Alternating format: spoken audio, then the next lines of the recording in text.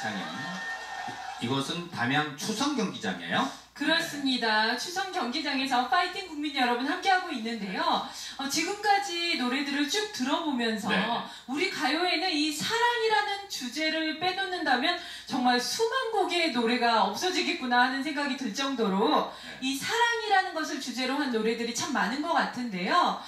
그런데 신기한 것은 같은 사랑이어도 노래마다 다 가사가 다르고 그러면 예, 멜로디도 다르고 그렇죠. 어쩜 그런지 참 신기한 것 같습니다. 어, 아마도 각자의 경험이 다르고 또 가치관이 틀려서인 것 같은데요. 네.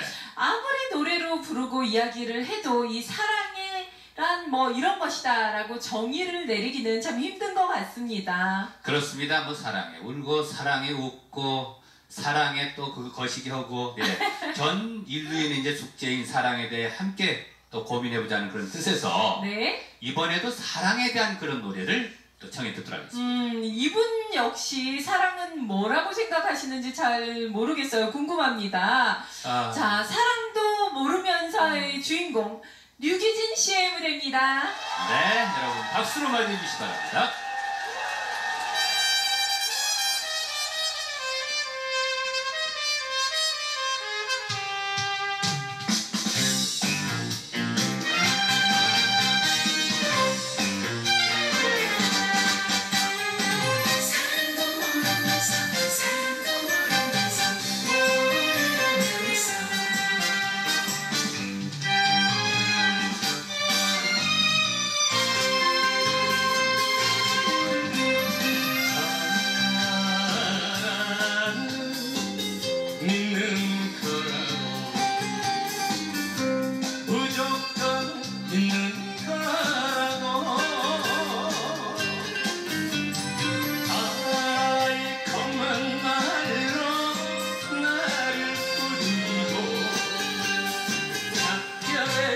작별